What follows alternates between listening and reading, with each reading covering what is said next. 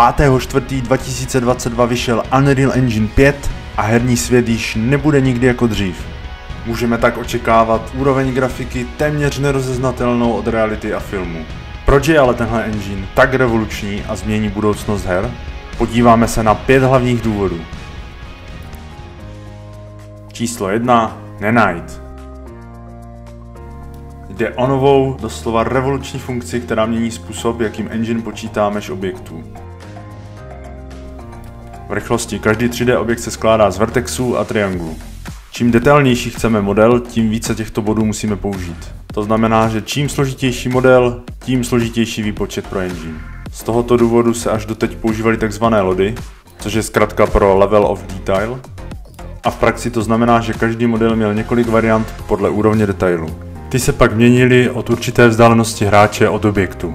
Samozřejmě u některých her to občas tak trošku blblo.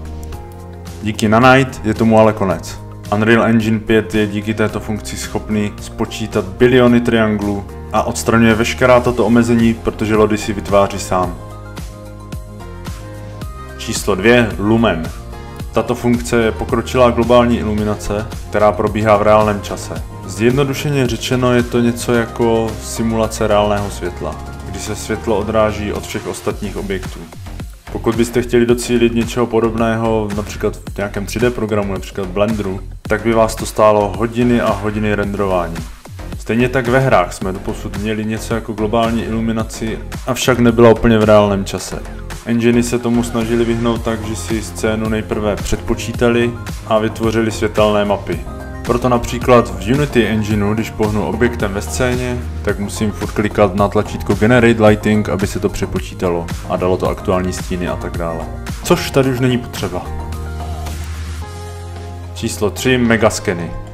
Unreal Engine 5 nám dává přístup k více než 16 tisícům reálných skenů přírody a objektů. A to zcela zdarma.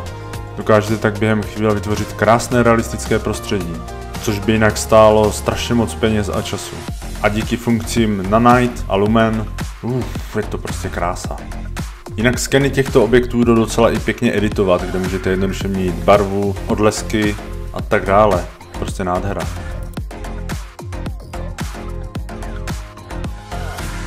Číslo 4. MetaHuman. Tady nám Unreal Engine umožňuje vyrobit realisticky vypadající postavu, a to velice rychle a jednoduše. Postava je perfektně narigovaná a stejně jako u Megaskenu, i tady máme tuhle technologii kompletně zdarma.